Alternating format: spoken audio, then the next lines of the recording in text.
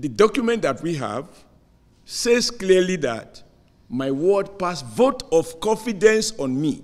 How the court can uphold vote of confidence and twist it to me vote of no confidence, only that judge can explain it to himself.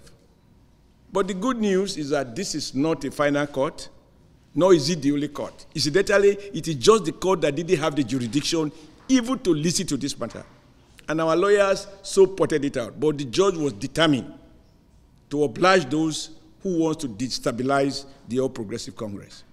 Let me also say that those behind these plots, the hands you see may well include the, the as you saw yesterday, the Edo State governor and his people celebrating. But that is the irony of life, that you help give birth to a child, and the child look for cutlass to want to chop off your neck. It has happened in history. It has happened in this country. So I will be the only person. But there are also other forces who see me, for whatever reason, as a threat to them. And those leading this anti-Oshiomhole campaign, some of them, some of them, I emphasize, cannot even boast of a councillor in their state, even as they lay claim to leadership position in our party. I'm proud to say I have done my best, not only when I was governor, I have done my best as chairman of this party.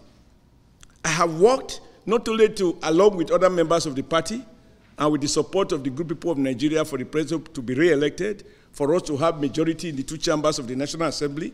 I also work hard to deliver my unit. I work hard to deliver my ward.